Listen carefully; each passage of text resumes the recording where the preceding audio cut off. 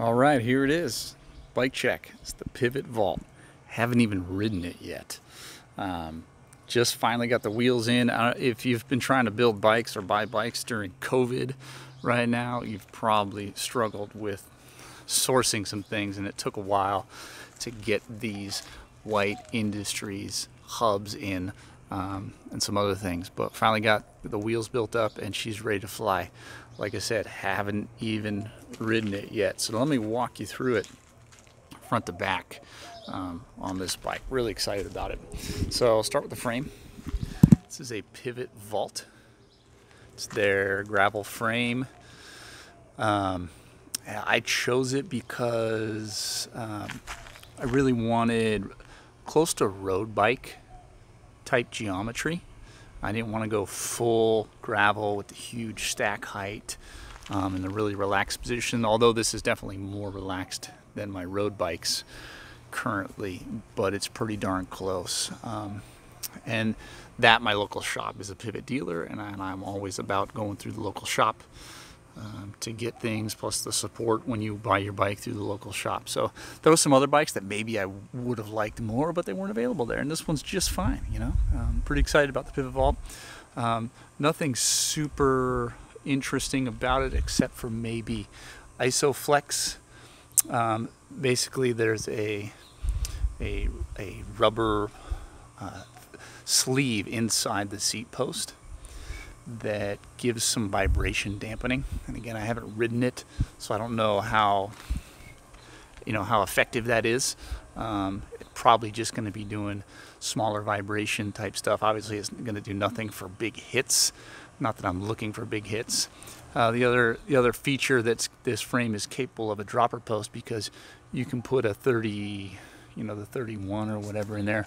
I have the 27 mill in there, so a narrower post uh, that goes in that sleeve. And so that's how I'm running it. So um, it has room for 45C tire on a 700C rim. Uh, and it has a, some drop stays. The stays are both dropped the same on this, where it's not a full asymmetric drop, maybe slightly more dropped uh, on the non-drive side. And you can see in there I'm running just for understanding there is a, a stages crank power meter on there. Plenty of clearance no worry about that. So excited about the frame. Um, really good looking. This color is called sandstorm. A bit dramatic. Um, and you'll notice the color is not one you'll see on their website with this pink. I actually painted it. Um, it came in orange and uh, the two colors the frame comes in. One is blue and I believe the accents are red and then this sandstorm and the accents are pink, are orange. Uh, I just didn't want orange. I figured why not? I'll mask the orange bits off and make them pink. That's how I'll roll, and that's what I did. And, and, and I like it. I dig it.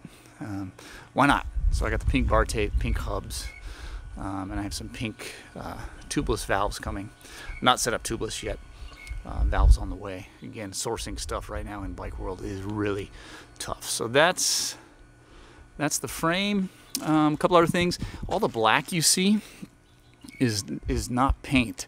This is actually uh, might not show up on video, but you can see some of the the marbling artifacts of carbon. But all the black um, is bare carbon, or at least a a matte clear finish on bare carbon. Um, and then all the pink and tan is pink and tan paint. So that's the frame. Now let's take a look at the build.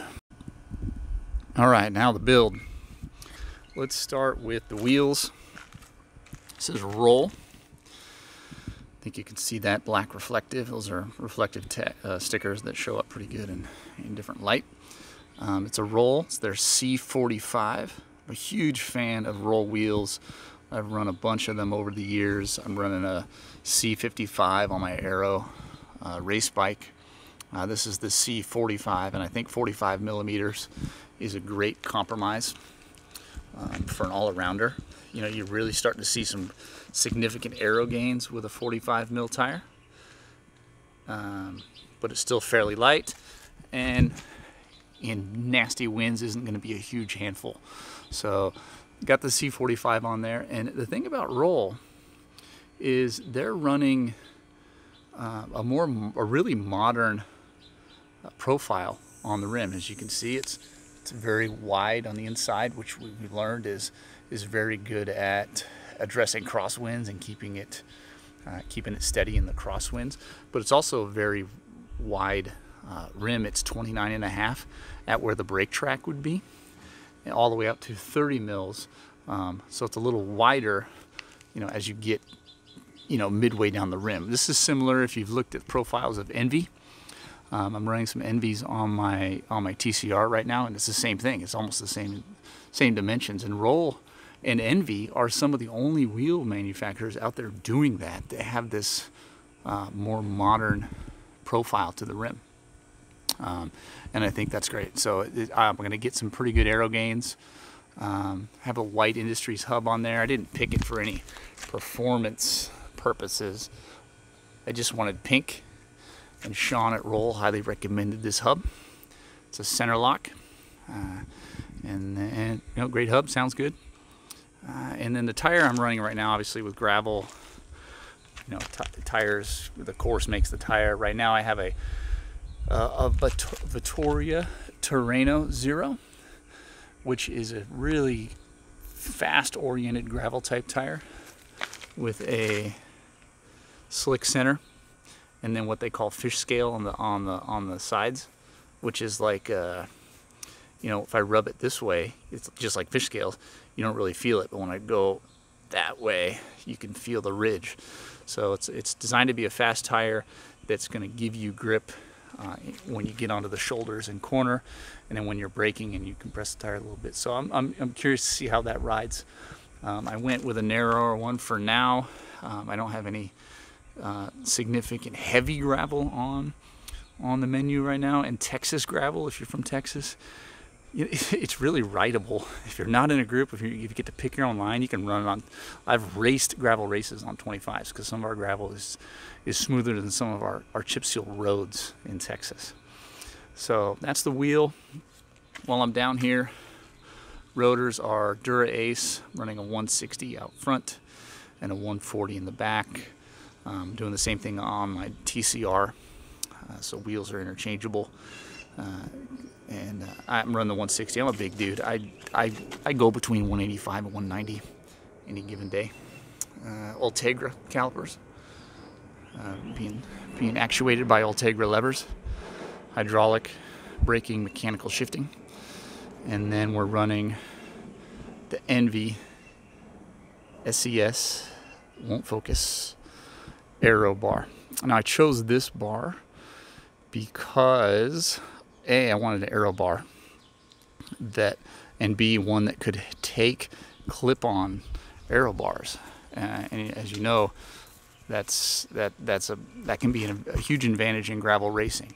And I've built this to be a gravel race bike, uh, specifically for Texas. I might might have looked at other bikes if I was into more Kansas, dirty Kansas type riding, but in Texas, um, gravel races are high speed affairs, very similar to road racing, uh, but you do end up on your own many times, and those clip-on aero bars will help. I haven't picked them up yet, uh, but I did pick these aero bars because uh, because I want to be able to put clip-on aero bars on there.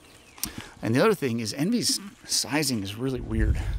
I normally ride traditionally what you would call a 42 centimeter bar, where it's 42 you know, hood to hood or center here, where ENVE actually calls this bar a 46, and nothing on it measures 46. It's 41 from center to center, where the hood would be, and it's 45 in the drop. So it's a little narrower than when I was riding the Oregon Aero Bar, which was 42, and then it was 44 or 43 more. And so, and so it's a little wider here and a little narrower there. So you can see it does have some flair.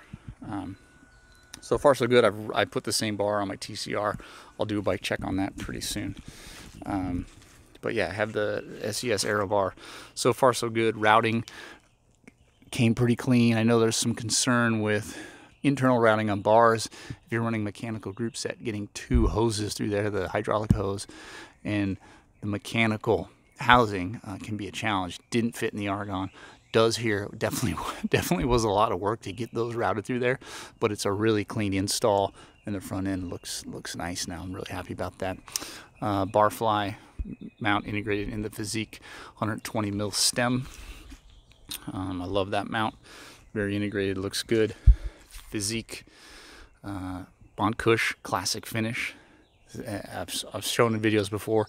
This is the only bar tape if you want to run bright colors or white that is actually stays bright color or white. It's very cleanable. I like it a lot.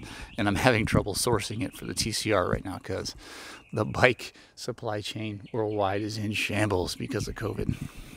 Let's move on to the crank set. I had this Dura-Ace crank set. I forget what this number is. Uh, it's not the 9000, it's the generation right before that. So I don't know if that's if that's 8900 or whatever. Anyway, Dura-Ace crankset uh, on its previous bike. This this was a standard crank, also with absolute black, but I've made it compact for gravel purposes. So this is a 5034 absolute black. These are round chain rings. It's a gold KMC chain. I didn't get it for any particular reason other than the Dura-Ace chain, which I normally run, wasn't available where I was trying to buy it, and they had this. So I put the gold chain on there. It looks kind of cool. Uh, XTR pedals for gravel days. I'll run a Speedplay Zero uh, for the kind of days where I won't ever need to touch ground, which is honestly most gravel in Texas. I won't be running mountain pedals. I'll run road shoes and road pedals because you never have to walk anything in, in Texas gravel races. Uh, so solid crank set, got a lot of miles in it. Again, as pointed out earlier, stages crank based, fits on the frame, no problem. Arundel cages. This isn't the mandible, it's the other one. I forget what it's called. Uh, I've been running these on other bikes for years and it's never let me down. I've never lost a bottle. I may, be famous last words. Um, onto the back end here, getting bright in the sun. Hopefully this works. Um, I'm running a the Ultegra. This is the Ultegra RX. So it's an Ultegra. It's a road road gravel um, mech you know, derailleur. It has a clutch on it. Uh, that you may or may not use depending on on the settings. I think a clutch is a must on a gravel bike, so that's why I went with that. Um, I have an Ultegra, the older Ultegra front mech that I just had laying around. Threw that on the front. Uh, I may change that to the updated one. Again, I've been trying to buy one and I just can't find them anywhere. And then I have a Dura-Ace 11 to 30 cassette out back. So the 3430 is my low gear. Lowest gear I've ever had on a road bike, although it is a gravel bike. Um, and then the last thing is we're perched up on top of an ISM. This is the PN40. It's their newest saddle. Um, ISM, I think, has realized that roadies are riding their saddles, and they finally made a saddle that really is a road saddle. Um, you can move around on it a lot more. This is my go-to. Have it on the TCR. Probably going to put this on my mountain bike as well. I love the saddle. It's been great. Um, so there you go. That is the build on the Pivot Vault. Excited to ride it.